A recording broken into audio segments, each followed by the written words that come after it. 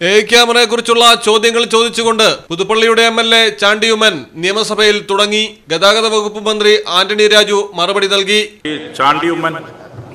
Sir പതിനെട്ട് നാല് രണ്ടായിരത്തി ഇരുപത്തി മൂന്നിന് സംസ്ഥാന സർക്കാർ ഭരണ അനുമതി നൽകിയ ഉത്തരവ് പ്രകാരം ഈ പദ്ധതി കൺവെൻഷണൽ ബൂട്ട് മോഡലായി കണക്കാക്കാൻ സാധിക്കില്ല എന്നും പദ്ധതി ഇത്രത്തോളം മുന്നോട്ട് പോയ സ്ഥിതിക്ക് അനുവിറ്റി മോഡലുള്ള പദ്ധതിക്ക് ഭരണ അനുമതി നൽകണമെന്നും പറയുന്നു.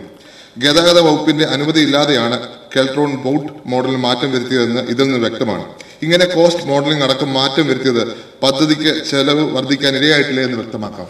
സർ അത് സർ ഇതിന് പല ഘട്ടങ്ങളിലായി രണ്ടായിരത്തി പതിനെട്ട് മുതൽ പല ഘട്ടങ്ങളിലായി പല ജിഒസ് ഇറങ്ങിയിട്ടുണ്ട്. പല അഡ്മിനിസ്ട്രേറ്റീവ് സാങ്ഷൻസ് നൽകിയിട്ടുണ്ട് സാർ സാർ കോംപ്രിഹെൻസീവ് സാങ്ഷൻ കൊടുക്കാനാണ് ക്യാബിനറ്റിന് മുമ്പിൽ വന്നത്. അതിന്റെ അടിസ്ഥാനത്തിലാണ് തീരുമാനമെടുത്തിട്ടുള്ളത്. സാർ അപ്പോ ഇത് പദ്ധതികളെല്ലാം പൂർത്തിയായി കഴിഞ്ഞ സ്ഥിതിക്ക് ഇനി മറ്റു കാര്യങ്ങളിലേക്ക് പരിശോധിക്കേണ്ട കാര്യമില്ല.